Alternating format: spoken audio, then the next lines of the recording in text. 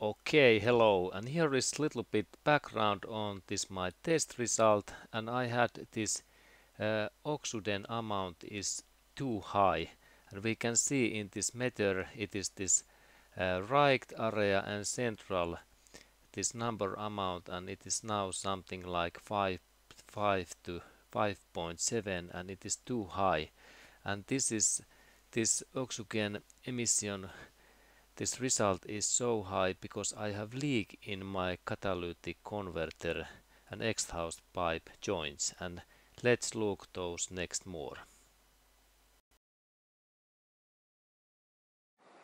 Hello and welcome. How are you doing? Next I like to show you that that how to fix this bad catalytic converter oxygen oxygen result and also if we go to this uh, emission test and we have too high oxygen amounts. And what is then wrong? And now I am showing this catalytic converter and we are just now in below of this car area. And when we go to look that catalytic converter we can see in here that there is big leak in there. And and and if we have that amount of leaks in our catalytic converter because this part is in here this is catalytic converter and and and we can even hear small sound that there is some leak in our exhaust manifold this is the issue what what cause and makes this too high oxygen emission. And then when we look check that that that first joint in here here we can see that there is no any leaks in here. And that means that that normally when we have this this back area. Catalytic converter leak in here. This makes that that when this exhaust gases goes in here very fast this leak takes more air in that area. And then we have too high oxygen amounts. Of course this leak could be in somewhere else but but when this is so big in here it is easy easy to notice. And, and then how to fix that issue.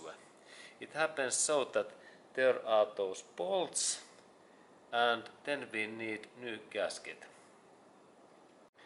And I have here new gasket and when you are planning to install new gasket to your catalytic converter remember always that this is so hot uh, exhaust pipes part that we need to use these original uh, gaskets.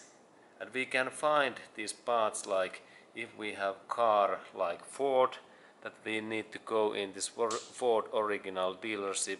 And then if we have car like Toyota we need to go to purchase just original parts and then these things last.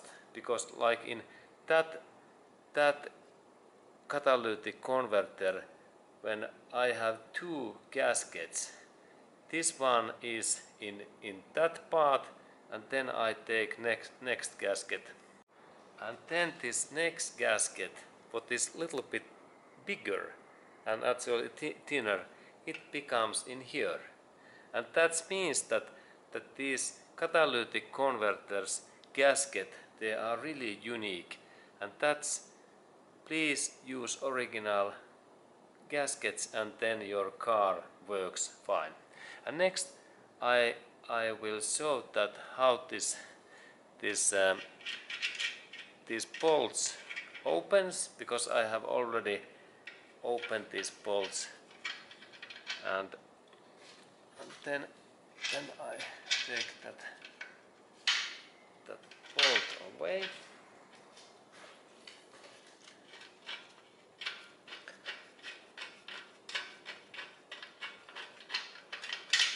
And this was first bolt and then I take second bolt here um, and, and when I have take the bolt away we continue. Okay and now I have take those bolts away and then I can little bit I can little bit move that part. And there is this old gasket. And we can see that that this gasket they can't be black in that one because this black means that there is this this air flow through these gaskets. And if we can see that we have black gasket in here and one one part in here is like like clean then we know that there is leak in that area. And here is this old gasket and then I take a new one. And there is this new one gasket and it goes so that that I insert that in in here and and it fits in there nice and then I lift that, that gasket in there. And then final part is that that I insert those bolt back and I tighten these bolts. Okay, and then when I have installed that new gasket and leak is away, we can check the new result. And here is my the new result. And when we look this uh, right uh, up area there is 2.43 is this amount and now my emission control is fine fine and my leak is also away in my catalytic converter area. And thank you